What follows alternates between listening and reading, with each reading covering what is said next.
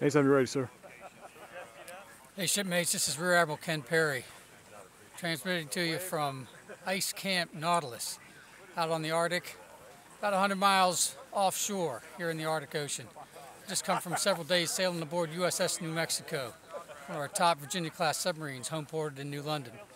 Ship's been going through maneuvers here one of the most arduous environments on the globe, demonstrating global access for our submarine force and the capabilities that we bring to the nation in her defense.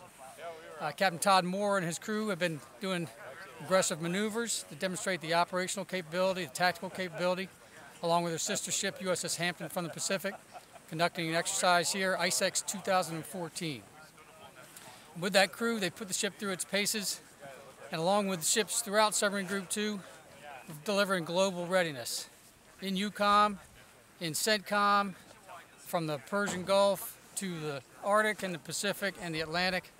Uh, and those ships that are deploying and providing the nation's defense uh, around the world. Other ships are in, in uh, overhaul from Portsmouth, New Hampshire down to Portsmouth, Virginia, getting ready to rejoin the fleet. And then finally, we've got ships in two shipyards, Electric Boat and Newport News, who are building the newest Virginia class to join the fleet shortly. In sum, U.S. submarine force, relevant, delivering the capabilities that the CNO talks about, war fighting first, operating forward, and being ready.